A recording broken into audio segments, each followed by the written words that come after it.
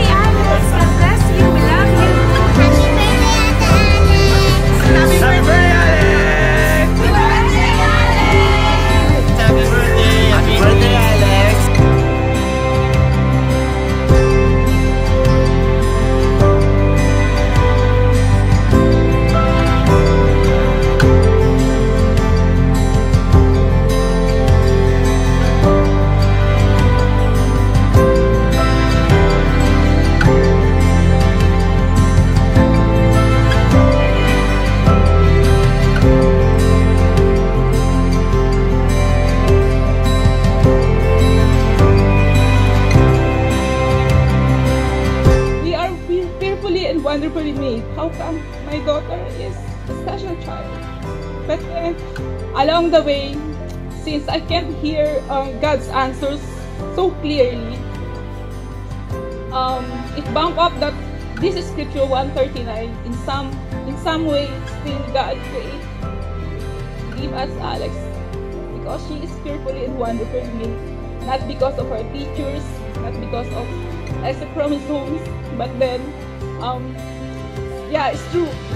Being a mom is a privilege but more so having a child a special child it's more it's more than that privilege. It's an honor though it's exhausting but then I enjoy the ride. I love it